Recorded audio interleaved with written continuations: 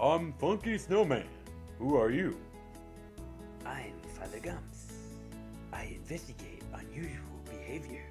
What do you do?